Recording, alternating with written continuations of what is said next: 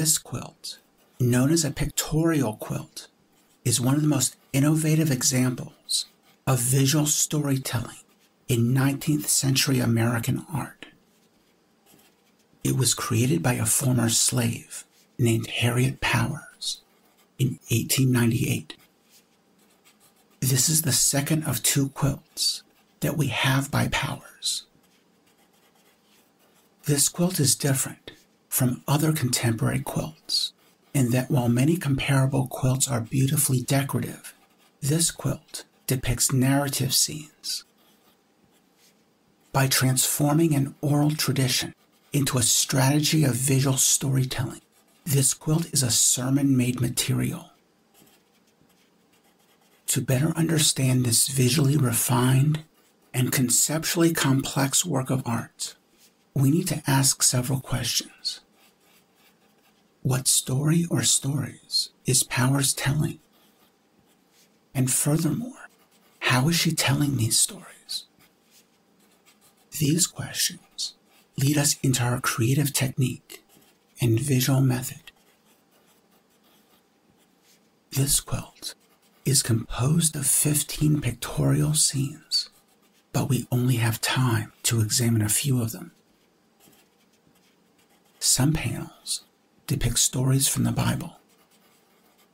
These biblical narratives are interspersed with panels depicting more recent, but no less astonishing events. The first panel depicts the life of Job. He was a man who endured almost every kind of suffering, but never lost faith in God. In another panel, we see Jonah being cast out of a boat. Jonah is being swallowed by a large fish sent by God to rescue him. The last panel depicts the crucifixion of Christ. Powers visualizes how the sun miraculously changed from light to dark. These stories from the Bible are interwoven with stories of more recent events. One panel depicts an episode on May 19th, 1780 when seven stars were seen at noon. And on November 13th, 1833, stars were seen falling from the sky. The terrified people thought that this was the end of the world. How did Powers find these modern stories?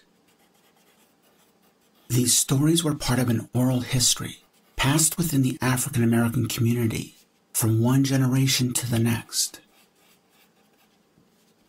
In this quilt, Powers translated an oral tradition into a visual form. These stories, both the scenes from the Bible as well as the more recent events, probably carried multiple levels of meaning for Powers. The trials of Job and Jonah might have sustained her own faith in God through extremely difficult ordeals and perhaps the modern celestial events were interpreted as signs that God was still spiritually active. To realize this sermon in quilting, Powers developed an exceptional visual language.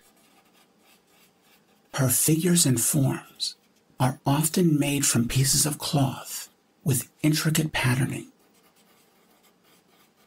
These figures and forms are then strongly contrasted against flat fields of color. They gently impose themselves onto the viewer's imagination.